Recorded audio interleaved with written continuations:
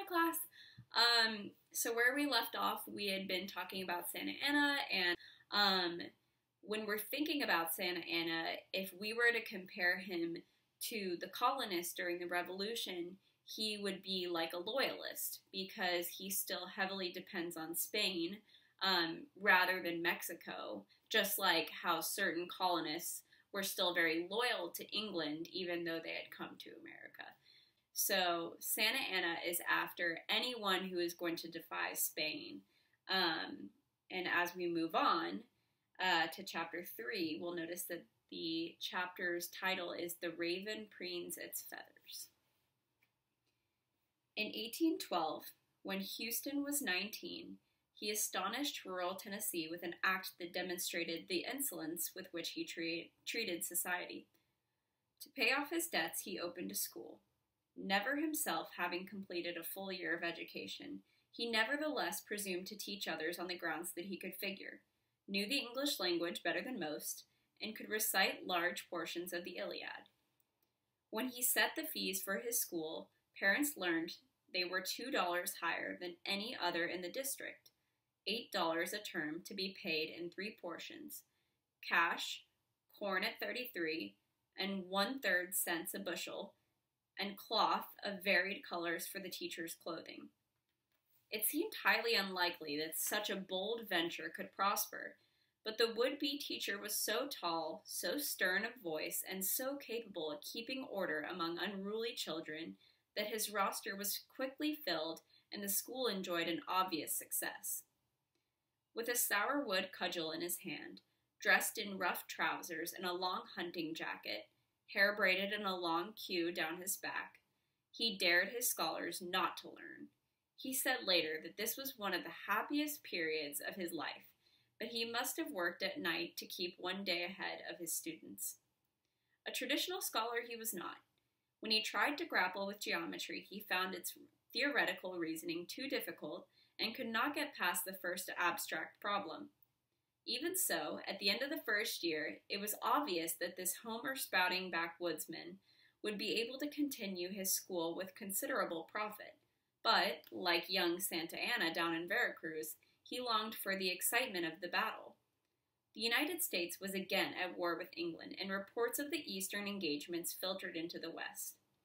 When he heard that fellow Tennessean General Andrew Jackson was fighting both the British and the Indians, Houston closed his school and lifted from the drumhead of the recruiting sergeant to silver dollar that obligated him to obey military law from then on.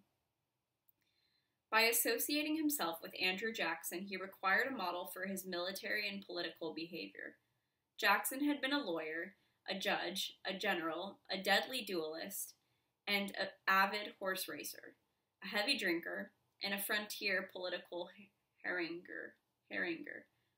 Adopting Jackson's style, Houston would master most of those skills. He entered the United States Army in its lowest rank, but in less than four weeks, his imposing size and knowledge of guns brought him promotion to drill sergeant. He soon became an officer, and as an ensign in his first battle, followed his major in a mad dash against enemy ramparts. The major was shot dead at point blank range, but Houston carried on and won the position. In doing so, he took a heavily barbed Indian arrow in his left thigh, half an half an inch from the groin. Pull it out, he shouted at a lieutenant nearby, but this hesitant officer, after giving only two tugs, cried, Impossible. It'll have to be cut out. Pull, dang it, yelled Houston, reaching for his sword to force the nervous superior officer to do the job. Placing one foot against Houston's leg, the officer grabbed the arrow with both hands and jerked with all its strength. Out it came, bringing with it so much thorn, sorry, so much torn flesh that Houston almost fainted. A surgeon, packing the gaping hole with cotton, commanded him to lie here till the battle's over. General Jackson, passing by in hurried inspection of his troops before the final push, took one look at Houston's wound and also ordered him to stay out of the battle. But Houston could not remain inactive while a fight was raging. Struggling to his feet, his wound dripping blood, he rushed haphazardly into the fray and found himself leading a forlorn charge up a ravine, at the far end of which the enemy waited, well ensconced. In trying to force the position, Houston took a, full volley which shattered his right arm and sent a large bullet into his right shoulder. Because of his conspicuous bravery at this crucial battle of Horseshoe Bend in 1814, he was promoted both to lieutenant and to the close friendship of General Jackson, whose rising star he would follow thereafter. As a young officer familiar with Indian ways, he was dispatched as government spokesman to his old friends, the Indians of the Cherokee Nation, to explain the new treaties the United States was offering them. Gladly, he resumed the breech clout and blanket way of life, and in his sorry, and in this mood and costume, he reported to Washington in 1818 as an interpreter to help conclude arrangements profitable to both Indians and the American army. Wearing Indian dress, his hair in a long Cherokee queue adorned with shells, he presented his chieftains to President Monroe. Although the president was pleased with Houston's effectiveness, the Secretary of War was outraged and at the close of sorry, and at the close of the meeting asked Houston to remain. The secretary was John C. Calhoun, the brilliant, acidulous, furiously ambitious pol- politician from South Carolina, one of the ablest men ever to aspire to the presidency only to lose it because of his venomous personality and his shift from a broad nationalism to a narrow Southern pro slavery stance. How dare an officer of the United States Army appear in his nation's capital in such garb? I came with Indians, representing Indians. They trust me because I, too, am an Indian. Never appear before me again in such obscene dress. Sir, I was able to conclude this treaty. I am your commanding officer, the tight lipped, beady eyed secretary snapped, and I command you to get out of that debasing costume. Instead, Houston got out of the army, for he would accept such speed sorry, he would accept such speech from no one, not even General Jackson, and certainly not from some scrawny, arrogant politician. Still dressed in Indian robes, he soon penned his letter of resignation to Calhoun, initiating an enmity that would an enmity that would color American politicians for two generations. Sam Houston hated John C. Calhoun and worked to deny him the presidency. Calhoun despised Houston and revel- reveled in the disasters that were to overtake him. Houston's resignation took effect in 1818 when he was 25 with no land, no job, no wife, and very few prospects. Within a few weeks, however, he had persuaded a Nashville lawyer of considerable reputation, Judge James Trimble, to instruct him in law. The judge spelled out the 18 month course of study required in those days, and Sam plunged, plunged in, read assiduously, and at the end of six months announced he had learned all there was to learn, and that he was prepared to serve the people of Tennessee as a lawyer. After a cursory examination of the young giant, Judge Trimble and his associates at the Nashville bar agreed.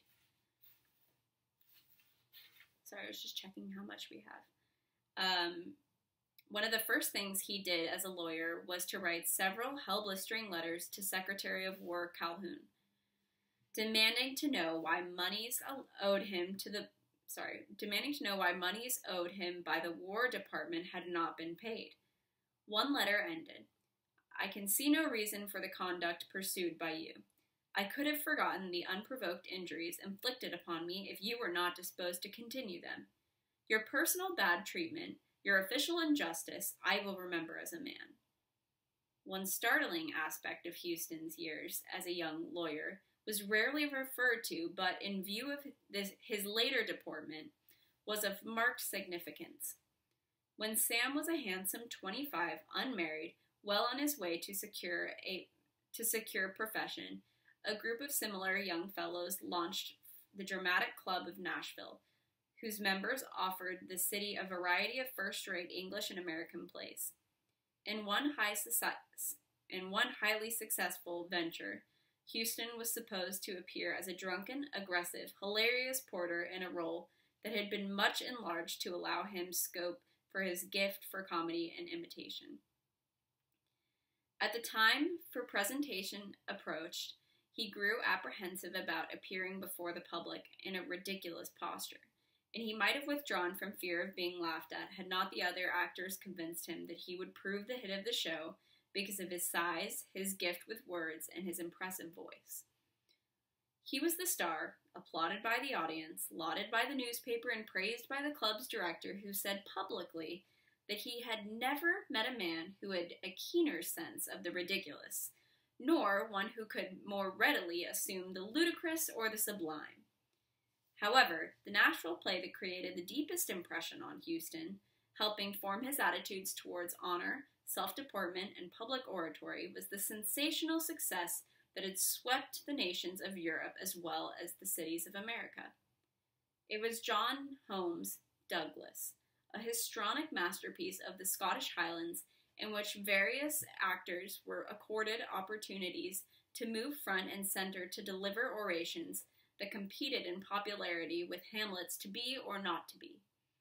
In Douglas, the honest young hero, handsomely kilted, stepped forward to deliver words familiar to audiences of the time. My name is Norval. On the Grampian Hills my father feeds his flock, a frugal swain, whose constant cares were to increase his store, and keep his only son, myself, at home. But brash young Norval would have none of this. Breaking away and plunging into battle, he uttered the cry which resounded through the theaters of the time where, wherever English was spoken. Like Douglas conquer, or like Douglas die. Houston did not play Norval. He had a lesser role as Glenalvon, but each night he heard this stirring line, this avowal of honor, and its rhythm became part of his arsenal. When he finished with the Democratic Club of Nashville, his knowledge of oratory and his commanding presence aided his election by his fellow officers of the Tennessee militia as their major general. He would henceforth be General Houston, a title reinforced through bravery in the field and leadership in the barracks. The civilian population regarded him so highly as an advocate in court that they elected him in 1823 to the United States House of Representatives from Tennessee's 9th District. Nashville's most eligible bachelor made his maiden speech in the United States Congress in his very early 30s. What was the subject? Not some parochial Tennessee problem, but the right of Greeks to seek independence from Turkish rule. Throughout his political career, he would continue to advocate for freedom for all, except black slaves. He was felt by many and voiced publicly by some that Sam Houston's star could rise to the very zenith. Senator, governor, member of all cabinet, even presidency. But in the fall of 1824, his spectacular rise foundered. His choice for the presidency, Andrew Jackson, was denied that high office by the strategy of Dorr, John Quincy Adams of Massachusetts, a lifelong enemy of all that Houston aspired to, and Henry Clay, who wished to become Secretary of State. And who became vice president with extraordinary powers in the inner circle? John C. Calhoun, more determined than ever to oppose the brash young congressman from Tennessee. Undaunted, Houston plunged back into national politics with but two objectives to make his hero Jackson president in 1828 and to make himself governor of Tennessee as soon as possible. He would also give careful consideration to finding himself a wife of whom his Tennessee constituents would approve.